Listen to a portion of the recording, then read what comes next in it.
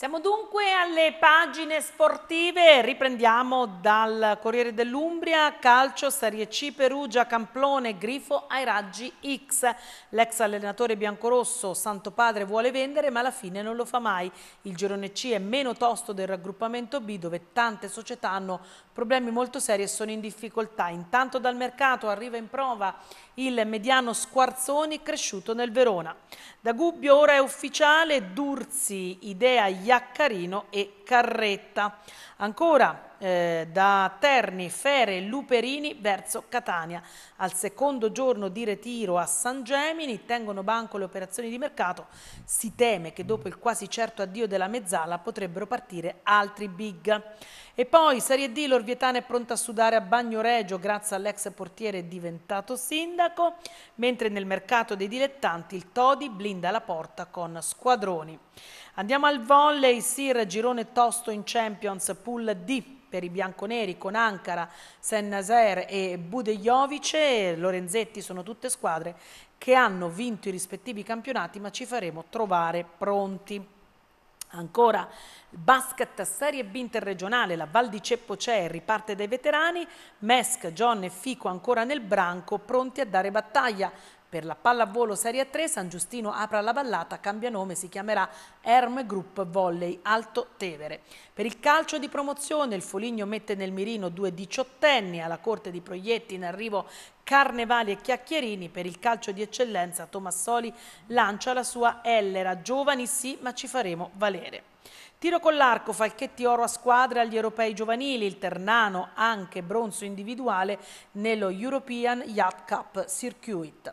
Per la scherma il tecnico Daniele Anile, siamo a Terni del Circolo di Terni al seminario GB Italia. Per il subbuteo, sempre da Terni, Mattiangeli si veste d'azzurro e convocato per i mondiali. Questo era il Corriere, andiamo al Messaggero, Fere Abate detta i tempi ma non basta, il tecnico è già in sintonia con la squadra come si vede il ritiro, quello che manca è la voce della società che resta in silenzio. Mercato sfumano le opzioni di Capozucca e Luperini è in partenza. Per eh, Terni ancora, campionati FISDIR, il sorriso di Eleonora, grazie al nuoto mi sento libera e felice, è stata l'atleta che ha vinto più medaglie. Andiamo a parlare di Grifo, in partenza pure Vulikic. C'è lo Spezia per il croato, anche lui con la valigia pronta. L'affare Iannoni-Lazio vale 1.200.000 euro. Farroni in lista per il ruolo di numero uno, Colai per l'attacco, in prova il giovane mediano di scuola Verona Squarzoni.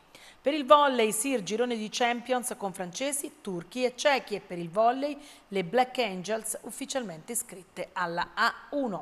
Chiudiamo con la nazione, Perugia, il mercato in uscita si accende, Vulikic verso la B, lo Spezia in pole, addirittura d'arrivo anche l'operazione con la Lazio per Iannoni, Seghetti è in corsa a due, Pisa e Sassuolo sull'attaccante. Intanto parla l'ex Camplone, Grifo, ai miei tempi avevamo giocatori importanti. Terzo giorno intanto di lavoro a Pian di Massiano, oggi l'unica doppia seduta della settimana. La SIR, volley estratti gironi di Champions, ma l'abbiamo già visto, Ternana, Luperini e Saluti, il pressing del Catania per il centrocampista starebbe avendo esito positivo. Per la Bartoccini Serie 1 femminile del volley l'iscrizione alla 1 è fatta. Ma noi vi facciamo leggere anche questo titolo che apre al nostro prossimo servizio.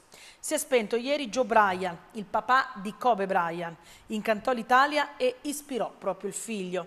Addio al cestista che diede spettacolo per sette stagioni in Italia dopo aver lasciato l'NBA. Aveva 69 anni. Il figlio, ricordate, Kobe Bryan, eh, morto in, eh, con la figlia in incidente eh, in elicottero. Ebbene, proprio a Kobe Bryant è dedicato, è dedicato a un'associazione, Black Mamba, eh, che a Gualdo ha una sua sede ma che in realtà eh, poi è presente in molte altre parti eh, d'Italia. Si è concluso domenica scorsa un torneo di basket proprio eh, organizzato dai giovani eh, della eh, Black Mamba.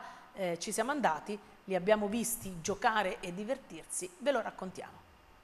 I meant to make you down the I apologize, 24 serie di sport e divertimento in un vecchio campo da basket che di storia ne ha vista tanta dagli anni 70 a questa parte, tirata a nuovo da una giovane associazione Black Mamba aiutata da una più strutturata Educare alla vita buona con il sostegno economico del comune. Metti poi 220 tra bambini e ragazzi provenienti dall'Umbria e dal resto dell'Italia, tutti con nel cuore il ricordo di un grande del basket mondiale prematuramente scomparso, Kobe Bryant, che continua a far sognare generazioni di appassionati mentre giocano con la palla spinta spicchi. Con questi ingredienti e meritati applausi a Gualdo Tadino presso l'oratorio salesiano si è chiusa domenica 14 luglio la quattro giorni del torneo di basket afferente al circuito nazionale LB3 organizzato dall'associazione Black Mamba. Sport certamente con gare nella Formula 3x3 disputate in sei categorie di differenti età, dai nati del 2014 agli over 18, mini basket, Brookie, Next Generation, Mamba Cita, Mamba Girls ed Elite, ma soprattutto spettacolo con gare di schiacciate e tiri da tre tutto condito con divertimento puro e un'organizzazione che ha dato spazio anche al food and beverage per i numerosissimi ospiti.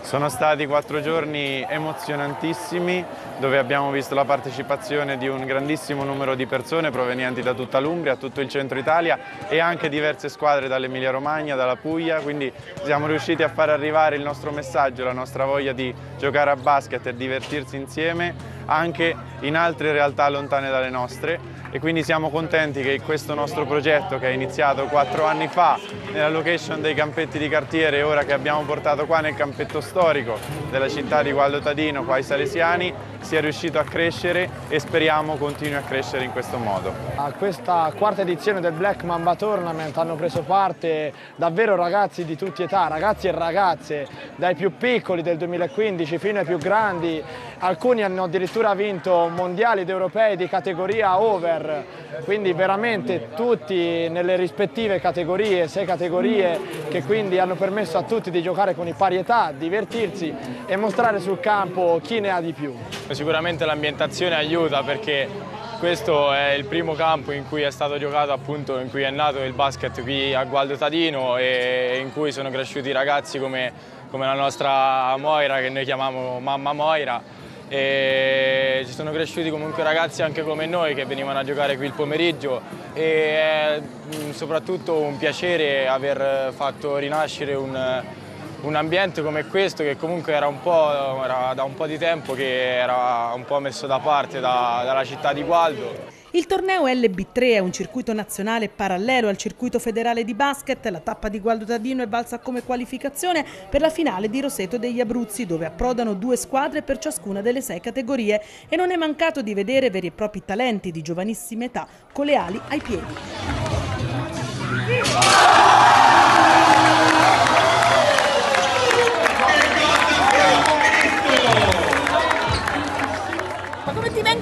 Quei salti che fai per fare canestro? Non lo so, sono naturali. Bravi loro. Allora, chiudiamo qui la nostra rassegna stampa. Vi ricordiamo l'appuntamento con ITG a partire dalle 19.30. Grazie per averci seguito. Buona giornata.